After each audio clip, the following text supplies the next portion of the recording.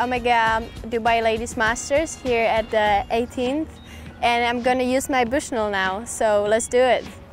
Can I have my Bushnell, Monica?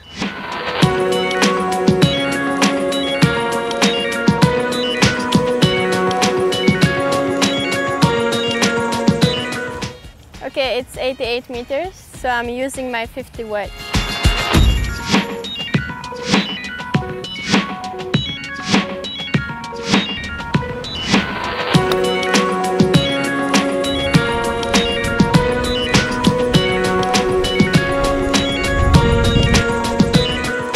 Chance!